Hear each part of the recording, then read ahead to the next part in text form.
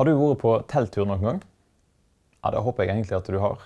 Eh, ut på tur i skog eller på campingplass, inn i et telt for å bo der en natt eller to. Da tror jeg de aller fleste har godt av å få lov til å erfare.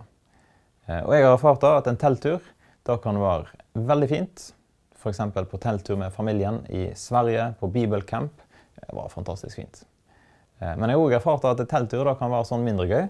Eh, det kan være ganske kjedelig, faktisk. Eh, spesielt hvis du er på telttur oppe i Nord-Norge sammen med andre folk som er kledd i grønne klær, eh, og inn i en knappeteltsak der du har en liten primus for å prøve å holde deg varm. Det er ikke alltid så gøy. Men uansett om teltturen er bra eller om teltturen er litt dårlig, så er min erfaring da at det er alltid fint å komme hjem og komme i hus.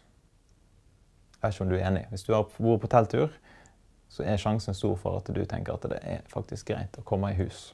Det er flere i Bibelen sikkert som har peiling på dette med telttur. Men jeg tenker spesielt i dag på en som heter Paulus. Han eh, reiste masse rundt, og så jobba han òg som teltmaker. Han reiste rundt og fortalte om Jesus, men samtidig så hadde han da eh, på en måte bijobben sin, der han tjente pengene sine, det var å lage telt eller fikse på telt. Eh, og han tar faktisk en sånn sammenligning en dag der han sammenligner livet vårt med en telttur. I 2. Korinterne 5, vers 1, så sier han noe om at eh, vi vet at det teltet vi lever i her på jord, da blir brutt ned. Ja, kroppen vår den eh, er ikke spesielt eh, bra alltid. Sant? Den kan bli sjuk, den kan bli dårlig, den kan knekke en fot osv. Og, og dess eldre vi blir, dess mer kommer vi nok til å merke da, at kroppen vår den blir brutt ned. Men da sier Paulus noe til, til oss som er på telttur. Han sier at ja, men vi vet at vi har et hus eh, som venter oss der framme. Vi har et hus i himmelen. Eh, som ikke er gjort med hendene, men som er noe evig. Noe som Gud har gitt oss. Så min eh, sånn, spørsmål til deg i dag, hva tenker du om livet ditt? Tenker du sånn som Paulus tenkte, som sier at livet er som en telttur? Vi er på vei mot noe som er vanvittig mye bedre.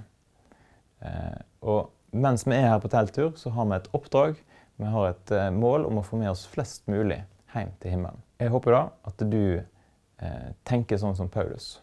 At du sier at Paulus han hadde jammen rett når han sier da at vi vet jo om det teltet vi lever i på jorden, blir brutt ned, så har vi en bygning som er av Gud, et hus som ikke er gjort med hender, evig i himmelen.